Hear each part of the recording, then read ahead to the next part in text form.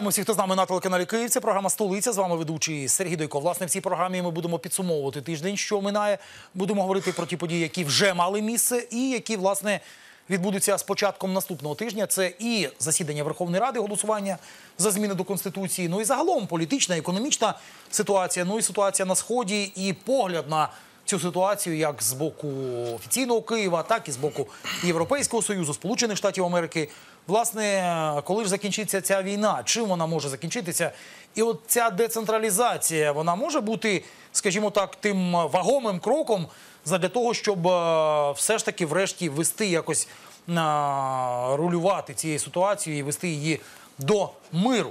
Я закликаю всіх активно долучатися до нашої дискусії, ставте запитання, висловлюйте свою думку. Ми тут абсолютно відкриті. Ви абсолютно це давно вже помітили. Я із задоволенням представляю гостя нашої програми. Це Ровшан Тагієв, відомий громадський діяч, дипломат, голова Асамблеї національностей України, співголова Асамблеї діаспор світу.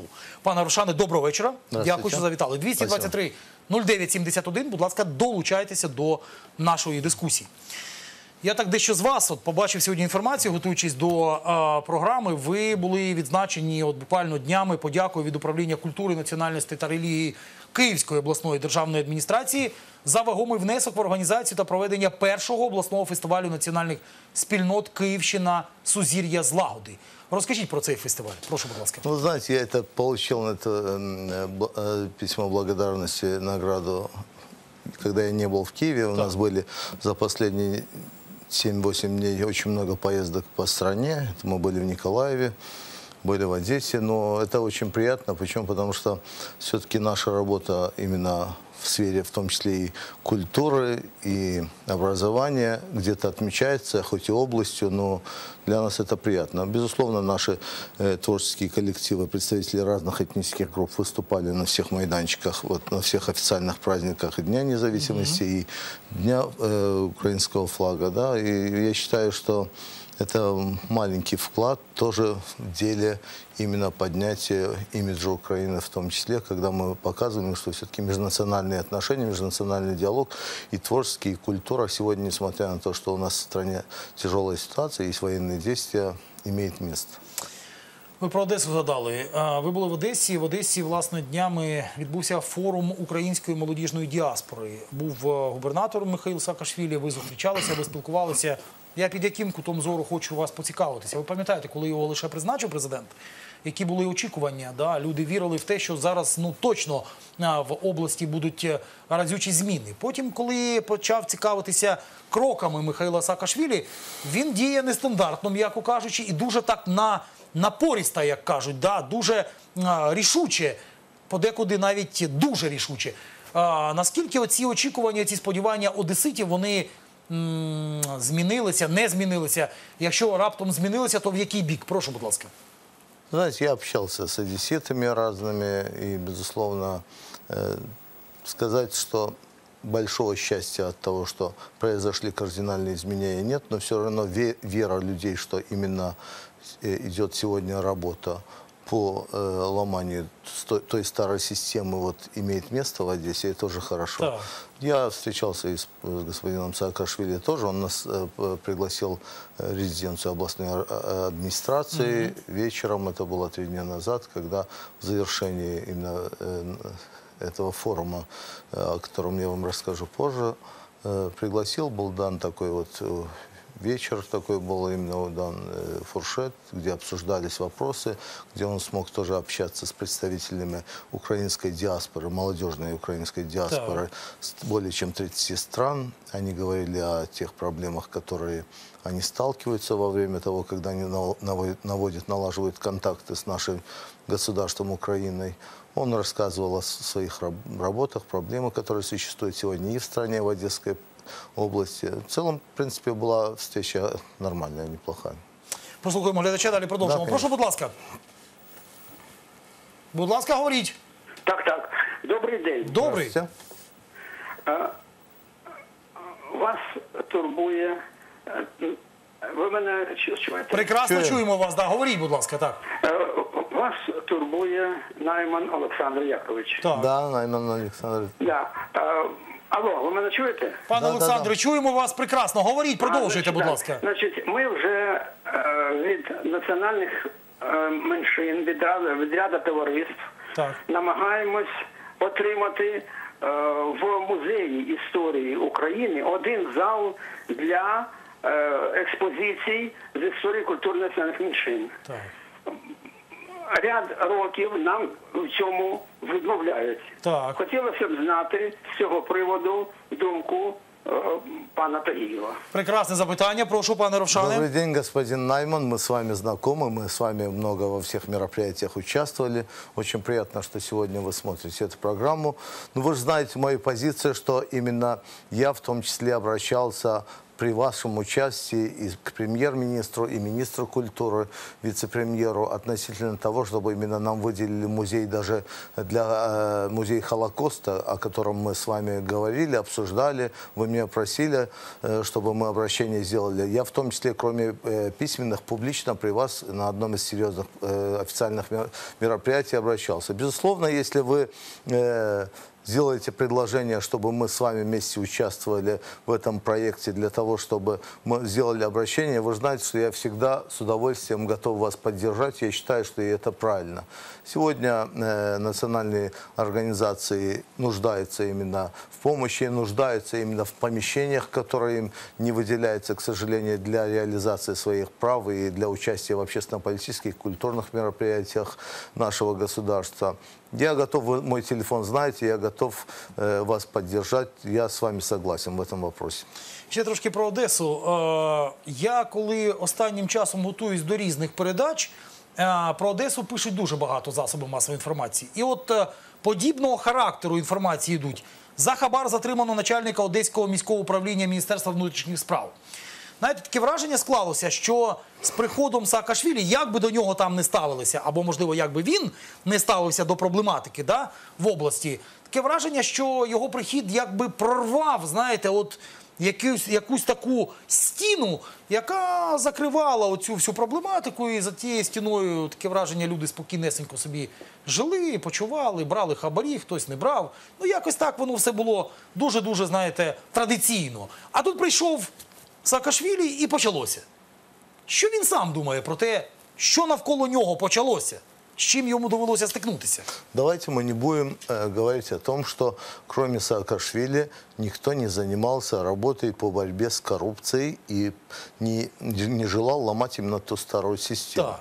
Но мы, я как нормальный гражданин ему благодарен, если его действия, э, которые он делает за последние несколько месяцев, будут иметь э, ощутимый результат. Но я ему желаю так и в дальнейшем в этой работе удачи. Но народу это нравится, еще раз я говорю, сегодня в Одессе, что происходит то, что уже некоторые чиновники понимают, что могут попасть под раздачу господина Саакашвили, Так. когда к нему невозможно подобраться с вопросами коррупции, подкупать его или договариваться кулуарно, чтобы решать определенные вопросы. Но в Одессе очень много порядочных людей живет. И в Одессе очень много и также чиновников жили, и живут, и работают, которые и до господина Саакашвили э, хотели бы этих изменений. Но мы же понимаем, за последние 20 с лишним лет у нас система так была построена, после того, как 90-е годы, э, середине 90-х годов олигархи пришли к власти и захватили все э, вертикали, горизонтали, все потоки, э, в том числе и финансовые, и медиаресурсы, то возможность обычного чиновника, она ограничивалась только его желанием. Да? Вот сегодня мы видим, что изменения из динамики. Я так получилось, что я участвовал и в представлении э, новой полиции Одессы. При- Прилетел президент, принимал участие в этом мероприятии тоже. Я даже разговаривал с одним из полицейских. Он сказал, что из 800 с лишним человек, которые брались для отбора, прошли э, отбор 390 с лишним человек. То есть остальных будут набирать. То есть не так все там э, просто и просто, прийти, да, да, да. не так все просто. И даже недавно я в интернете посмотрел, что вот одесский полицейский остановил дорогу возле зебры и провел бабушку через э, пешеходный Пе- переход. переход, Да, это, знаете, это как бы для многих это было в Одессе, в том числе, это что-то новое. Я бы не сказал, что у нашей милиции не было порядочных людей до того, как создали полицию. Нет, там тоже очень много порядочных людей работает.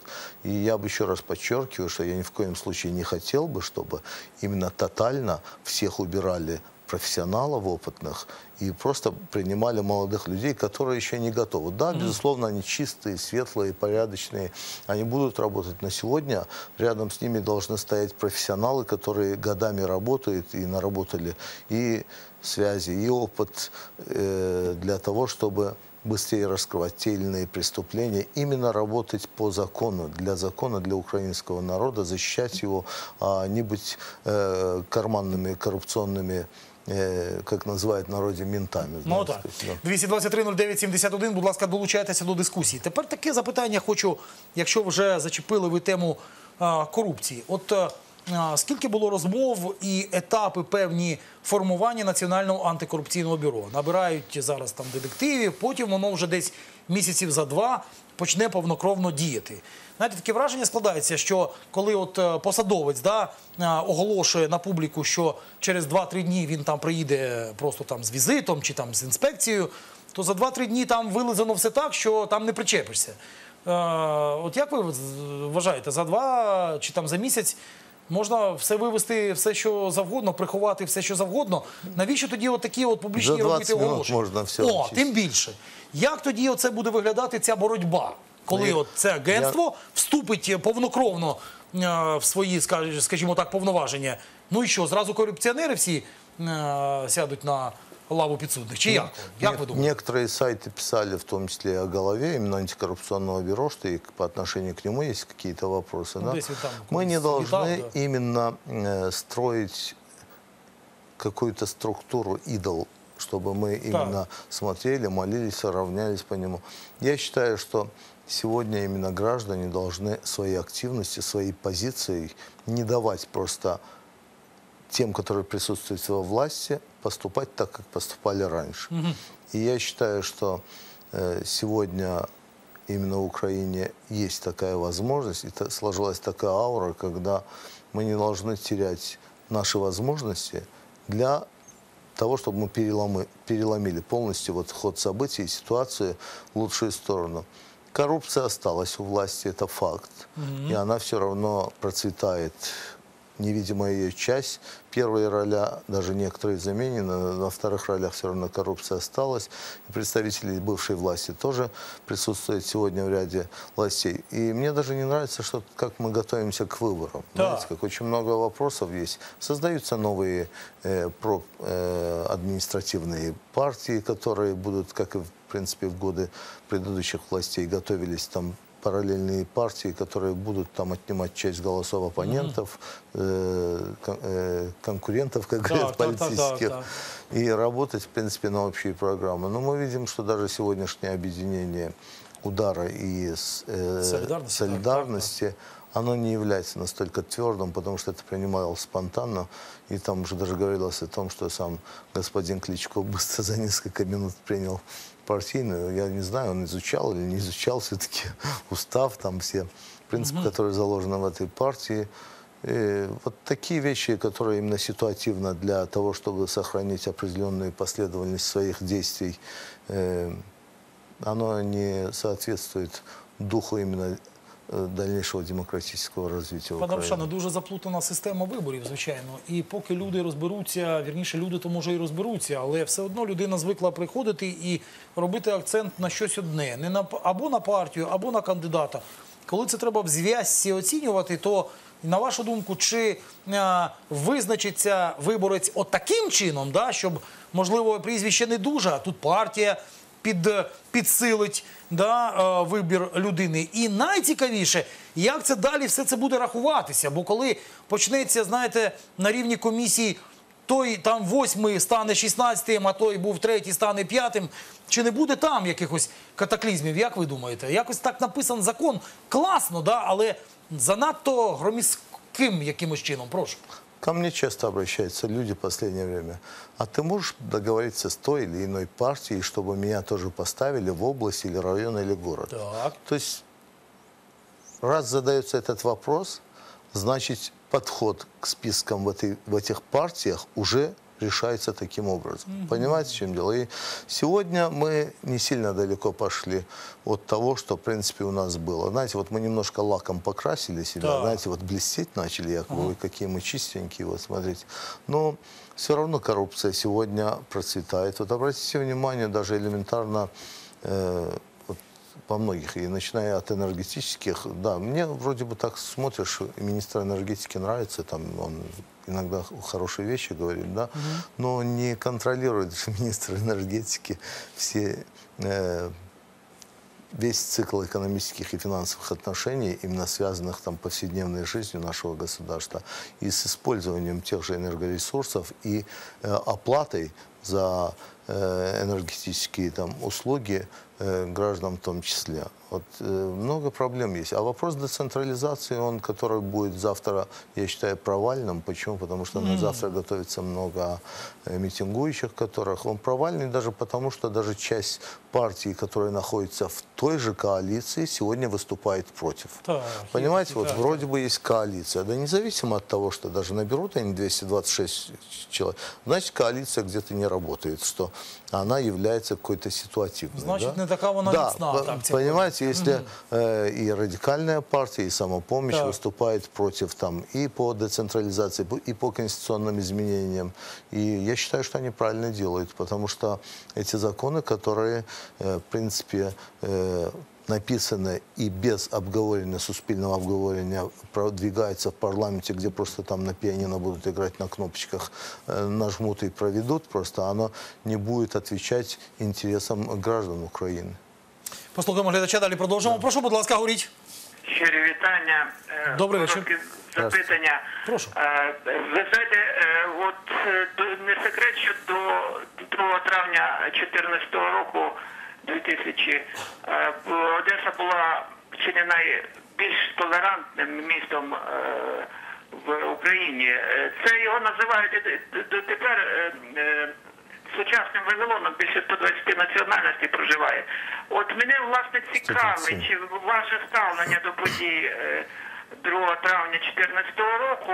Е, Як ви вважаєте, ем, от е, щодо пана Саакашвілі, безумовно, він великий авторитет Грузії багато зробив е, для процвітання цієї країни, але але одночасно проти нього там порушення кілька кримінальних справ, як ви можете це прокоментувати. І, наприклад, е, щодо того, щоб, наприклад, ну там є росіянка у його заступника, але, наприклад, пана Ходорговського би призначити головою, як це би одесити сприйняли, ви краще знаєте. І щодо постаті пана Путіна, тому що говорять, ну от Путін дуже поганий, але це не найгірший варіант для Росії, в який колись правив Іван Грозний, Сталін і таке інше. Тобто, от в цьому відношенні мене цікавить. Е, Прошу. Цікаві запитання. Прошу, пане Рошане. Ну, вы действительно э, задали актуальные вопросы. Спасибо вам. Что я, мое отношение, как и точно так же, как ваше, к событиям э, 2 мая, трагическим событиям 2 мая 2014 года, когда в Одессе действительно погибли, в том числе и наши граждане, молодежь погибла. Но это было все-таки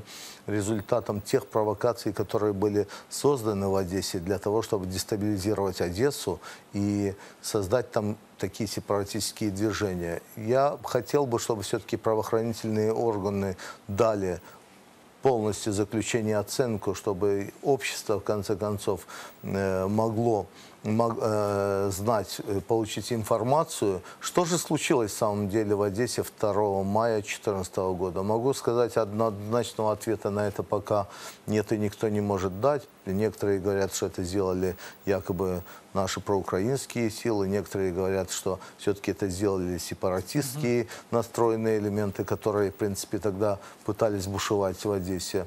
И я считаю, что такие вещи недопустимы в цивилизованном обществе, но э, на это есть и Генеральная прокуратура, и Министерство внутренних дел, которое все-таки в течение полтора года, почти года четыре месяца должно будет э, дать уже э, оценку, должно дать информацию для э, народа. Это первый вопрос, э, на который я вам ответил, мое мнение. По второму вопросу, то, что именно э, позиция господина Саакашвили и то, что возможно, чтобы могли Ходорковского. Мы знаем, что раньше, чем Ходорковский, э, Саакашвили и Ходорковский приезжал в апреле 2014 года неоднократно и позже бывал в Украине.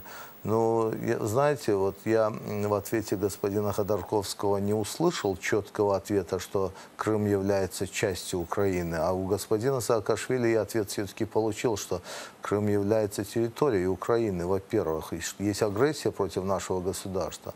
Вот есть партии в России, да, в том числе и партия «Яблоко», которая не проводит свою деятельность политическую в Крыму, потому что они так и открыто заявляют, что Крым является аннексированной территорией со стороны России, она аннексирована, да, и это честь и похвала. Я не знаком ни с кем из политических деятелей партии «Яблоко» Ви в маєте на Российской увазі Федерации. е, свого часу, яку очолював Явлінський, а зараз Мітрохін. Да, Митрохин. Я И знаю это- пана Мітрохана, зустрічався з Да, ним у и Москві, честь коли похвала таким у людям, которые не відрядженні, так. боятся и говорят, хотя есть Так, уголовная ответственность за то, чтобы кто-то будет отрицать факт м, того, что Крым является якобы субъектом Российской Так, Федерации. так, так. Но э, то, что уголовные дела открыты против господина Саакашвили, весь мир понимает, что эти уголовные дела они являются политическим преследованием, внутригрузинским вопросом. И мне очень жаль, что в Грузии, в братской, дружественной Грузии сегодня происходят такие вещи. Но такие вещи происходят и во многих странах, к сожалению. Но я- мы не должны зацикливаться на этих вопросах. Мы должны говорить о тех вещах, которые мы хотим услышать и увидеть, а то, что именно борьба с коррупцией. Вот если у господина Саакашвили получится действительно переломить ход событий в Одессе, я лично, как гражданин Украины, буду ему благодарен. Я не- знаком с господином Саакашвили давно, я не являюсь ни его политическим партнером, ни другом по партии. Я просто как гражданин Украины смотрю и хочу, и жду положительных результатов. А то, что Одесса является мультикультурной, толерантной, она сегодня такой же является. И это показало то, что за последний месяц мы дважды проводили мероприятия в Одессе. И дух Одессы, колорит одесского общения, он уникален. И я считаю, что вот этот термин, что есть нация одесситы, он и сегодня присутствует на ваших территориях. Спасибо одесситам всем за то, что они являются такими открытыми и толерантными. Пане Рошане, у нас зараз одна хвилинка, Да. не більше рекламки. Після неї ми повертаємося до нашої передачі. Підказують є дзвіночок, буквально хвилинку. Дочекайтеся. І зразу ми другу частину нашої програми з вашого дзвіночка розпочнемо. Дочекайтеся, зараз рекламка і повертаємося.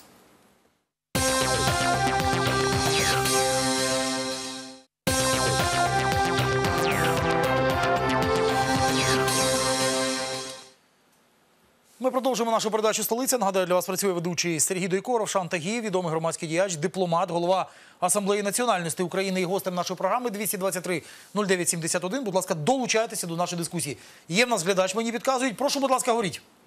Добрый вечер. Добрий вечір. Здравствуйте. Э, Как вы считаете, можно ли считать сейчас дело Гангадзе законченным, потому что много, как я вижу, вопросов? И в частности, его покойная мать не считала, что найденное тело – это тело ее сына. И как вы воспринимаете все, что сейчас происходит э, в отношении убийства Олеся Бузины? Спасибо. Ну, Так цікаві Да. запитання, пане Рошане, прошу. Я, я считаю, что независимо от того, что прошло сколько лет, уже э, мы должны все-таки в конце концов э, поставить твердую точку в деле Гангадзе. Но безусловно, что есть э, человек, который организовал это убийство, и он э, на суде признался и говорил, и указывал на определенные фамилии. Э, ну, вы знаете, э, то есть там была прокладка, что мы знаем, что этот человек был подчиненным э, покойного Кравченко. То есть э, твердые, вот я как гражданин со стороны вижу стопроцентные обвинения стороны э, Леонида Даниловича или э, Литвина невозможно эм, говорить на все сто процентов. Были разговоры, записи. Но я хотел бы все-таки, чтобы именно вот этот вопрос мы адресовали в одном из э, пресс-конференций и президенту, и генеральному прокурору. Я считаю, мы бы оттуда с вами вместе получили бы более четкие точные ответы. И это касается в том числе э, и убийства и смерти Олега Бузины. Я считаю, что независимо от э, политических взглядов каждого гражданина. Э, Мы не можем допускать, чтобы дело просто бросили в темную полку, и это прес- громкие преступления должны раскрываться, в том числе. Наступний глядач, прошу, будь ласка. Добрий вечір, говоріть, будь ласка. Алло, Слухаємо. кого, кто? Дякую. Дякуємо. Ви хотіли запитання поставити? Да. Так, прошу, будь ласка, бо ви якось так. Извините, просто я... Та нічого, нічого, то я вже так Да, знаєте. я хотел бы поставить вопрос. Прошу, пожалуйста. Готовы ли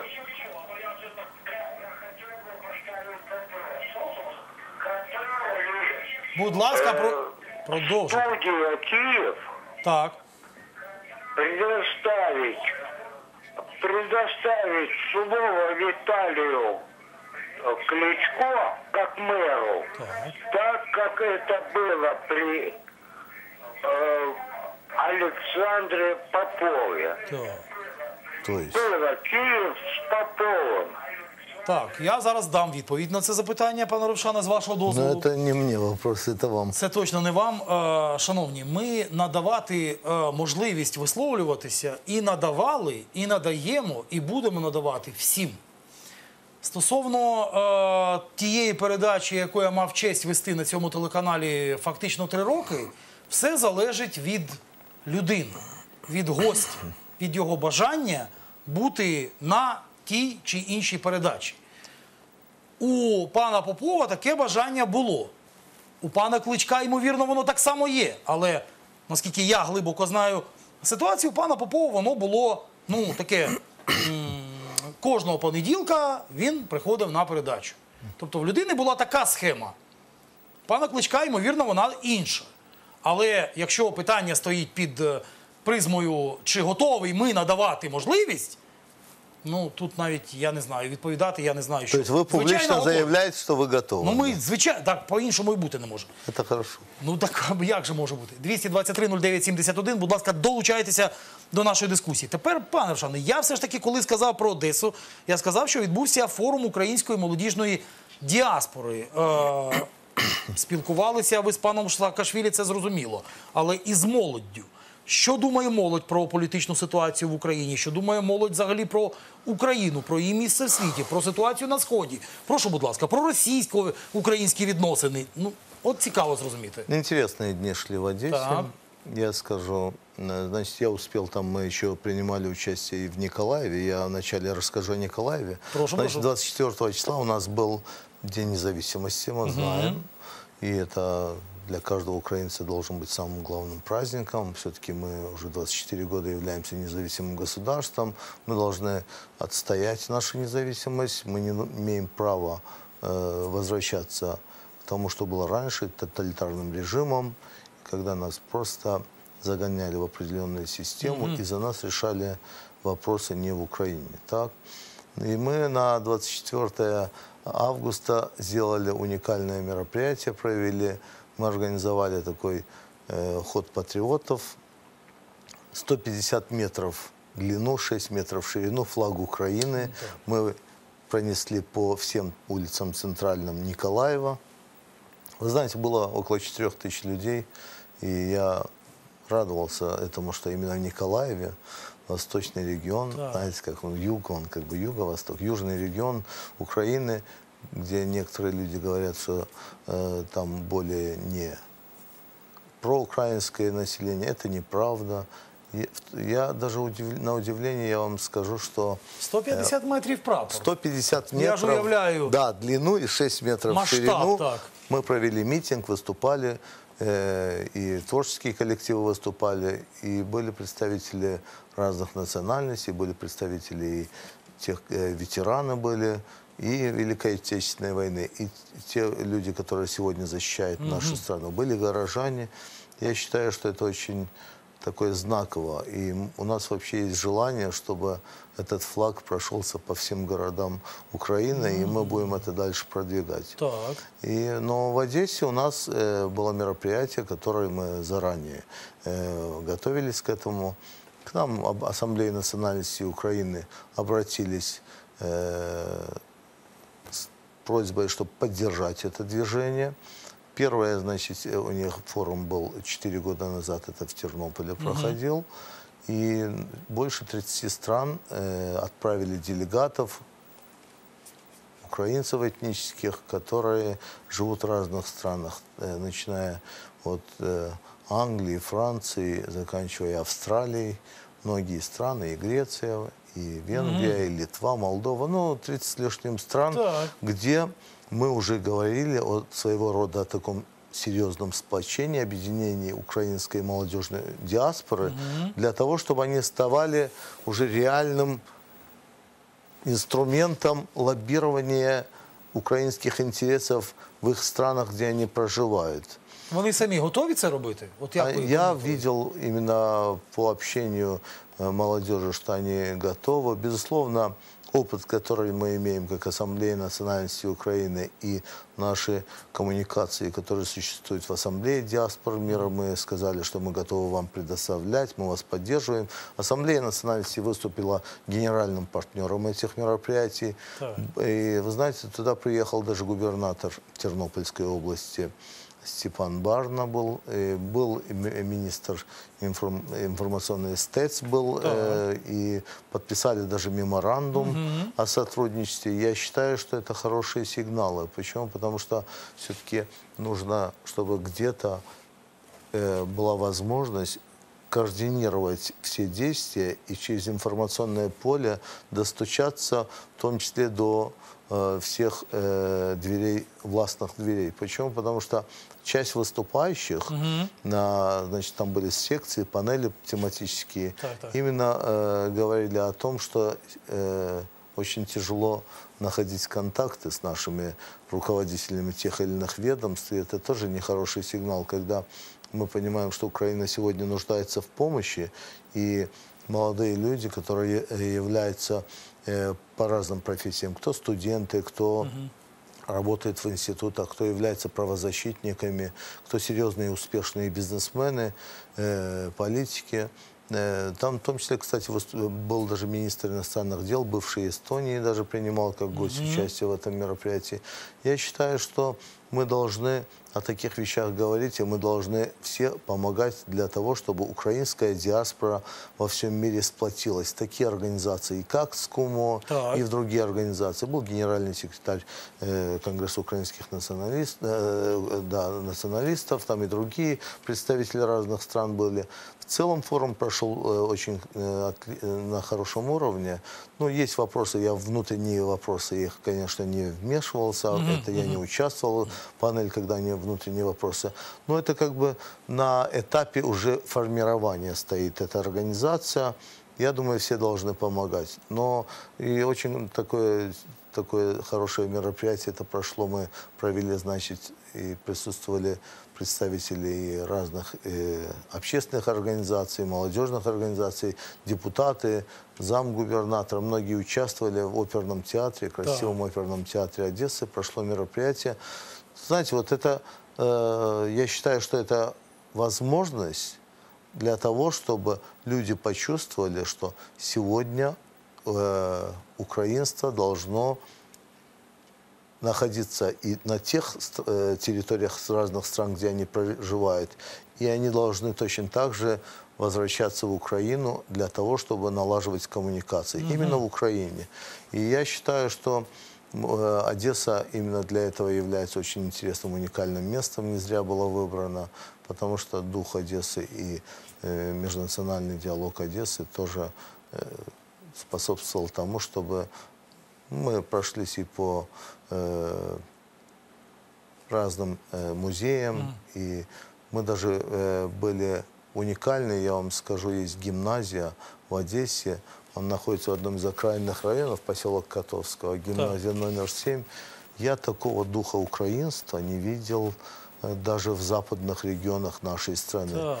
И я благодарность э, хотел бы сегодня через телевидение выразить именно на, э, директору и учителям этой гимназии за то, что настолько они душой эту школу оберегают, они ее строят, там именно уго- уголки культуры, традиций и патриотические комнаты, разные тематические, они проводят конкурсы, мероприятия, олимпиады. 1400 детей учатся в этой гимназии. Это Да. большая гимназия. Это так, это и так. На удивление, я потом сделал предложение, чтобы представители диаспоры с разных стран, э, в том числе даже Богдан Гаврилишин, в следующий день посетили эту школу. И это хорошо. 223 09 71. Будь ласка, долучайтеся до нашої дискусії, поки Немає в нас поки глядача. Будь ласка, долучайтеся. А от тепер щодо комунікації. Цікава така була інформація. Якось вона трошки, знаєте, відійшла на другий план, е, що можливо і очевидно. Але комунікація з'являється на сайті президента указ е, щодо електронних петицій. Ну, звичайно, зразу інформація ледь не наступна, що громадяни просто завалили президента різними петиціями, пропозиціями. Знаєте, що цікаво? Що е, людина пише петицію, оформлює, пише, хто вона, адреса, ну і яка ж пропозиція. Ну а інші можуть е, е, долучатися до такої ж ініціативи і підтримувати. Так що цікаво, українці здебільшого просять у президента, це лідер за тематикою, дозвіл на зброю. Я не знаю, воно то ніби так, але побоювання якісь внутрішні, розумієте, з огляду на непросту ситуацію. Я насчет сброи не могу сказать, но я знаю, что была, я прочитал информацию вчера или позавчера, что именно подписал указ о петициях для того, чтобы в течение там, трех месяцев минимум 25 или 35 тысяч людей, если 25 тысяч человек, если подпишутся, отправят петицию по вопросу именно Крыма. Ну что, без этой петиции мы не знаем, что Крым ан- аннексирован и не надо решать вопрос Крыма, что Ну, ли? А зачем эта петиция нужна? Для того, чтобы, а, просто побольше информации снять, сколько граждан населения еще хотели бы просто в этом вопросе давать свои открытые информации. Или же это является своего рода, э, что вот видите, мы показываем, что сало вкусное или вода Ну, от ви ж бачите, знову ж таки, як дипломат, що питання Криму, воно ну, відійшло, воно не відійшло, але м, в розмовах, в обговореннях, в дискусіях про Крим якось е, дедалі менше йдеться. Я Тільки пол- пан Чубаров, пан Я Чемілєв, це логічно, да, що вони постійно цю тему е, будь-де. А так якось вона відійшла. Я полгода назад еще, э, вот когда минские вопросы, помните, решались, я несколько месяцев назад говорил, что я не верю ни Минск-1, ни Минск-2. И сегодня даже нет твердой и жесткой позиции Европейского Союза. Вот, понимаете, вот кроме того, что хорошо, не дают летальное оружие Украине, чтобы защищаться. Один вопрос. Так. Кто-то спорит, что если будет летальное оружие, то Россия ведет авиацию. да, вторгнення да, буде, так. вторгнение будет, будет авиация, вертолеты. На это ответ будет летальное оружие, будет жестче, придется НАТО входить, Ну, Америке кнопки входить, дійде, да, да? и дойдет до кнопки. так. Я в это верю 50 на 50 сторонник, да, допустим. Но вот вы понимаете, в чем дело? Элементарно Греция, если мы говорим о человеческих, о европейских ценностях, которым нас э, просит, запрашивает, как кажет, там Европейский Союз, да? Так. Вот Греция, она 250-270 миллиардов проела, просто 10-миллионное население. Да? Пришло время, дайте еще. Опять обсуждается 60-70 миллиардов Греции дать. А мы же здесь не люди.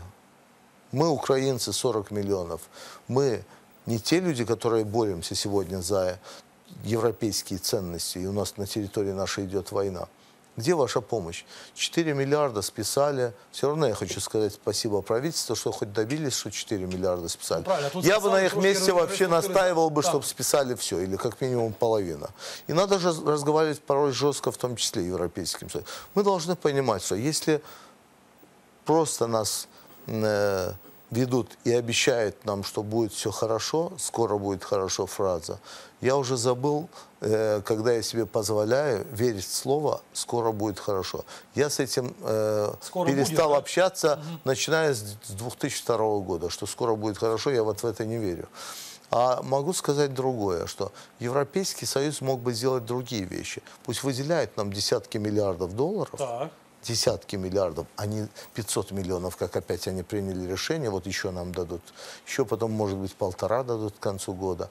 Пусть десятки миллиардов на инфраструктурно. И тогда мы можем переломить ситуацию, что в тех регионах, в которых сегодня живут наши же граждане Украины, будут видеть, что происходят реальные вещи. Происходит экономический прорыв Украины возможен, потому что Запад списал долги. Запад дал десятки миллиардов денег на инфраструктурные, на социальные проблемы и на другие проблемы, что, может быть, все-таки нам надо как-то договориться жить все-таки это. Ну, а сегодня... приклад якийсь, правда? Послушайте, я еще раз говорю, Так, не так. обязательно быть в Европейском Союзе для того, чтобы Запад поступил справедливо. Мы согласны, что у нас коррупционные схемы остались, да. Но я же однозначно могу тоже утверждать, что в той же Греции эти коррупционные схемы, они были и есть, что они всегда не справляются, когда им по 200 миллиардов дают на небольшое население страны, они не могут решать определенные вещи. Первый вопрос. Второй вопрос. От нас требуют, чтобы мы были как западная модель. Во всех вот э, министерствах, да, наши реформы, они хотят свести к тому, что по западному. Элементарно даже возьмем мы медицину. Вот медицина. В западных странах 5, 7, 10% населения максимум живет в селах. Сегодня у нас минимум третья часть населения живет в селах. У нас стандарты э, жизни ниже, чем э, в Европе. Да? У нас медицина находится в катастрофическом положении, когда скоро ищут бензин, когда ехать там в течение часа-двух до больниц, э, до, до больного человека в селе. Вот мы говорим о том, что мы хотим перевести, сделать платную медицину страховой медициной. Так вот, 17 миллионов населения, которые живут в селе, из них 13, 12, 14 миллионов занимается своим подсобным хозяйством. Кто будет платить за это страхование? Так, так, логично. Есть вопросы. И точно так же в других галузях тоже экономики. Мы не можем резко просто переориентироваться. Но чтобы мы стали такими, как вы, дайте нам денег. Но почему вы нас заставляете вот ходить подачки просить у вас, чтобы вы нам дали 500 миллионов? Да, 4 миллиарда с- списали, спасибо. Надо было 14 списать или 10 списать. Первое. Або все б списали. Да, я же говорю, я тоді просил б бы всім все, или как сказали. минимум, чтобы половина. І тоді б ті, які на сході ще сумніваються, чи в Європу нам чи Так не я в же об Європу. этом говорю. А Абсолютно по вопросу вірно говорите. Крыма я вам да, отвечу, вы не сказали, что так. все-таки у нас наши политики по вопросу Крыма не являются последовательными. Переводятся вопросы решения донбасского вопроса. Сейчас идет вопрос обсуждения того, что особого статуса да, Донбасса. да, Это будет то же самое, что было в Приднестровье.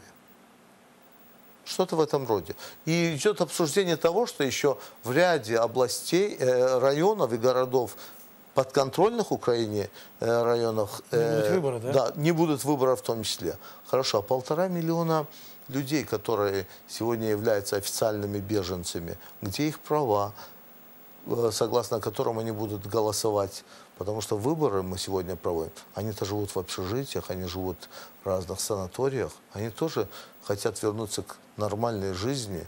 Они хотят именно стабильности. Где их права мы будем защищать?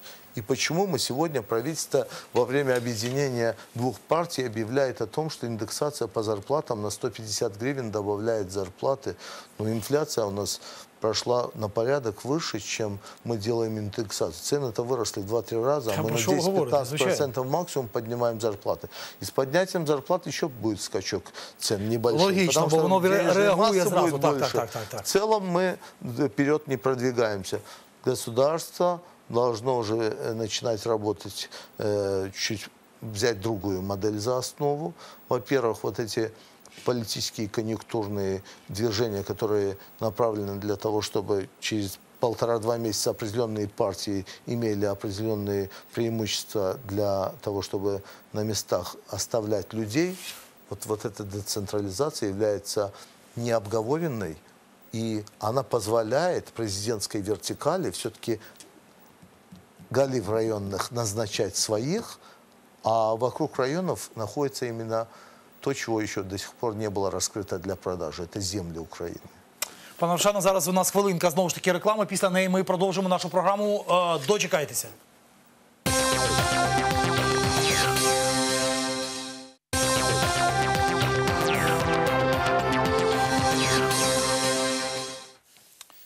Ми продовжуємо нашу передачу «Столиця». Нагадаю, для вас працює ведучий Сергій Дойкоров, Шантагієв, відомий громадський діяч, дипломат, голова Асамблеї національностей України, співголова Асамблеї діаспор світу. Є гостем нашої передачі 223 09 71. Будь ласка, долучайтеся до нашої дискусії.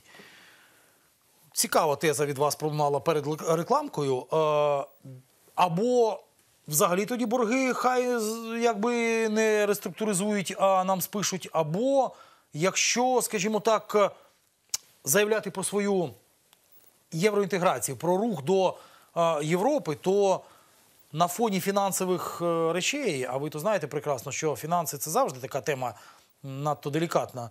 Треба якісь аргументи такі наводити, ті ж пані Меркель і пану Оланду, щоб е, не було якихось там різних підходів да, до того, там, чи захищає Європу Україна, да, воюючи з Росією. Вірніше, Росія напала на нас, а ми захищаємо Європу.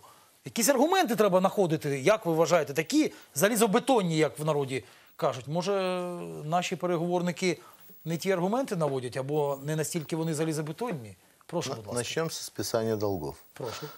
Э, Что произошло? Списали 4 миллиарда. Так. Хорошо, все равно спасибо. Так. Но этого мало. Ну так. Подняли ставки на 0,55%. Это плохо. То есть должны были списать, еще ставку понизить. Это раз. Так. Второе. Вроде бы есть отлично, что каникулы на 4 года, только платятся проценты, тело потом. Это тоже как бы дает хорошую э, базу для того, чтобы мы снимали нагрузку и начинали немножко раскачать наши э, двигатели. Знаете, как, чтобы мы э, немножко раскачались. Но, еще раз говорю, этого мало. Этого мало для нашей страны. Сегодня, после той разрухи, которая произошла в Украине, в том числе и военной, сегодня нужно сюда вливать 200-300 миллиардов долларов. Но для того, чтобы мы стали на ноги, хотя бы нам 40-50 миллиардов на ближайший год нужны деньги. И об этом никто не говорит. Вот знаете, вот если скажут, что это нужно, а к выборам придет, скажут э, тем, которые сказали, так почему же вы говорили, что нужно, вы не добились? Значит, вы плохо работаете, что ли? Но мы же не можем всегда держать наших людей, граждан, в таком состоянии, что даже если им поднимут зарплату, условно, станет вот тот, который получает, сейчас сделали минимальную пенсию, там 1073 гривны, да, условно. Ну, знаете. ви дайте йому 100-200, то хіба Даже, це вирішить нет, питання? послушайте, даже Так. если мы ему сделаем 2000 гривен. Ну так, это хіба всё- це вирішить это, питання? это ничего не решит. Вот элементарно, даже если учителю дадут 5000 гривен, это тоже особо не решает. Коммунальные поднимаются, с осени еще будут подниматься. Цены За опалення поднялись зараз и підуть так далее. так, оці всі а вот я платіжки. сегодня даже разговаривал, вот я правильно говорите. были на, на дне рождения, я сегодня был у друзей, заехал, поздравили, и там была женщина, она разговаривает, говорит, знаете, вот как стало ощутимо э, ну, ездить за границу куда-то отдыхать. Сегодня курс так поднялся, а с нашими зарплатами уже четвером не получается нам куда-то ездить. Цены же, получается, э, с 8 долларов стал 23, 24. Понимаете, в чем дело? А даже если нам цены поднимут в 2-3 раза, мы как минимум по тем стандартам сможем ездить за границу отдыхать. Понимаете, в чем дело? А цены-то внутри там э, споживача, они намного сильно поднялись. Тут Европейский Союз должен уже ощущать жесткий язык украинского правительства, украинских переговорщиков. И мы должны начинать говорить о том, что давайте с нами не играйтесь, давайте нам реальную помощь. Реальную помощь не для того, чтобы мы это проедали. Вот наши проекты. Так. по, проекты по восстановлению, в том числе и разрушенных э, регионов Донбасса, если мы договоримся, то и мы сможем переговоры лучше провести с теми лицами, которые сегодня в заложниках держат Донбасс в том числе. Так, так. И сегодня России в том числе невыгодно, что ситуация идет в глухой э, кут, как говорят. Так. Безусловно, Россия она действует по своему принципу оставить такой, знаете, э, коридор, где будет ситуация, которая можно всегда влиять на те или иные процессы в Украине. Но одну Россию делать врагом Украины делать не надо. Да, сегодня агрессивные политики находятся в России, но мы не можем позволить, чтобы украинские и российские народы постепенно становились вражескими. Я всегда всем говорю, вот смотрите, у нас в истории были с Польшей, были и резня, и война была, с Литвой была, э, с Турцией была, и с другими странами были. Мы дружим сегодня, с Германией была. Да. была. Мы дружим с Германией сегодня, дружим. Да. Мы с поляками дружим, Ще як? С литовцами дружим. Абсолютно вірно. Кстати, они больше всех сюда денег Я вкладывают. до того же Я благодарен литовцам, что они больше всех вкладывают сюда денег. Маленькая Литва по количеству инвестиций вкладывает больше, чем другие европейские страны. И точно так же с Турцией. И с Россией мы. Будет это наше черное пятно нашей истории, то, что происходит сегодня. Давайте мы будем говорить о конструктиве. По крымскому вопросу в том числе. Давайте будем вести переговоры все-таки. Давайте то, что я уже говорю, с сентября месяца прошлого года. Сядем, будем разговаривать, чтобы подключим Европейский Союз к переговорному процессу и скажем, Европейский Союз, уважаемый, хотите, чтобы война остановилась? То давайте сделаем так. да, В переговорном процессе с россиянами сделайте предложение России давайте успокойте ситуацию на Донбассе и по Крыму садитесь, договаривайтесь выход из положения с Украиной, а мы вам, россиянам, и вам, украинцам, откроем экономические свои просторы. Актуальность войны пропадет. Зрозуміло. Пане Аршану, в нас мені підказує з Івано-Франківська дзвіночок. Прошу, будь ласка. Доброго вечора. Доброго вечора. Доброго вечора, шановний гість. Добрий У мене до вас таке звичайно просте українське питання, як громадянина нашої держави. Да. Е, Хочеться побачити зміни. Найближчим часом, ми розуміємо, із жовтня місяця буде підвищення тарифів, так, так само конкретно на газ. Так. Але підвищення соціальних виплат таки не відбулося, підвищення пенсій не відбулося. А як то каже, жовтень буквально не за горами. У мене таке враження, що буквально це дійде до жовтня місяця, виплати не підніматимуться, зарплата не зросте, пенсії не зростуть, тоді почнеться знову революція. Ну ця революція буде останньою крапкою, мабуть, українській історії. Це моя така думка і всіх громадян України, тому що Давайте, давайте так. Давайте обережненько. Ні, ні, ні, я не до того. Ви не зникайте, але така моя думка і усіх громадян України. Отут давайте все ж таки, знаєте, в нас різні є е, в Україні думки, але це Разрешите, ваша человек була думка. поставит вопрос. Прошу, прошу. Це просто навчати точно не будуть. Я с вами согласен. Вот обратите внимание, вот я то, что сказал, что индексация зарплат 10-15% ничего не решает. Вот многие же э, пильги с льготы-то сняли. Вот человек, который сегодня, он пенсионер, он работать не может. Если пойдет работать, у него тоже сложности. У нас ничего не изменилось. И, безусловно, если в сентябре, в октябре или в ноябре будут поднимать тарифы на, по ЖКХ, по газу и так далее, это опять будет бить по кошельку, по украинским семьям. Ничего глобального у нас не решили для людей. И то, что мы сегодня слышим, что так красиво вот подняли на 300-500 гривен тем, на учителям, на 150 гривен остальным будут пенсии, зарплаты поднимать, минимальную зарплату. Это не решает сегодня, э, чтобы в лучшую сторону не меняется благосостояние украинского гражданина те ресурсы, которые будут добавлены и выброшены на рынок в виде дополнительных зарплат, они будут провоцировать ровно на такое же количество поднятия цен. А тарифы будут подниматься осенью по-любому. Мы так, это знаем. так.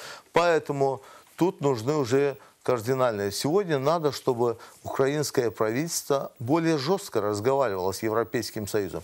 Если мы не видим результата, что Европейский Союз реально хочет, чтобы быстрые изменения. Я хочу в моей жизни увидеть кардинальные изменения. В моей Ты- ты- жизни. тысяча відсотків. И- да, в моей жизни я хочу увидеть кардинальные изменения э, в лучшие стороны э, граждан Украины.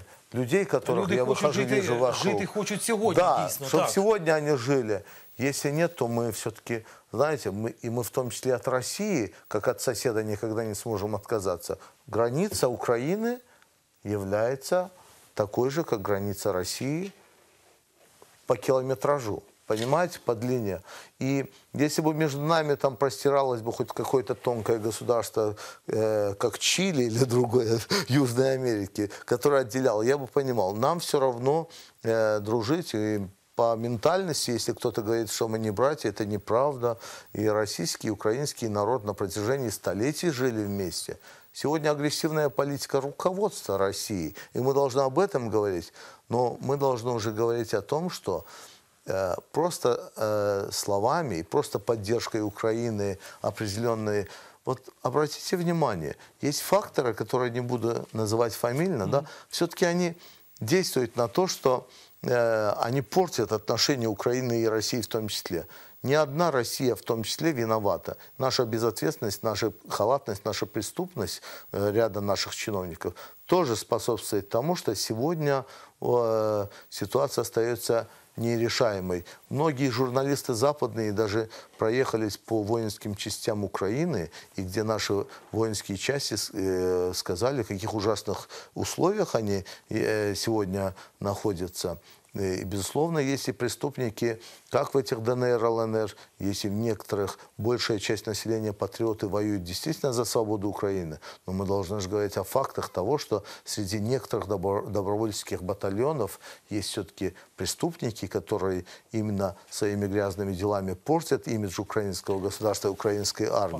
Нас- Я- да, я хотел бы, извините, я- Да, да, прошу. я хотел бы, чтобы мы все-таки призывали людей к миру, взаимопониманию, толерантности. Мы обязательно должны будем восстановить целостность Украины, но для этого нужно, чтобы западными партнерами не просто поддакивали наши э, украинские руководители. Вот как жестко мы отвечаем российскому руководству согласно трех миллиардов, точно так же мы должны жестко разговаривать и с европейскими переговорщиками, чтобы от слова они переходили к реальным делам. Нам подачки не нужны. Мы серьезное государство с серьезным потенциалом. К сожалению, да, мы сегодня бедные, мы сегодня банкроты, но пусть они дают свои возможности, чтобы мы становились на ноги. Если мы являемся оплотом стабильности сегодня Пане Рушане, у нас дві Європи. хвилини до закінчення, Да. але тим не менше, оці зараз тарифи підвищуються, платіжки поприходять.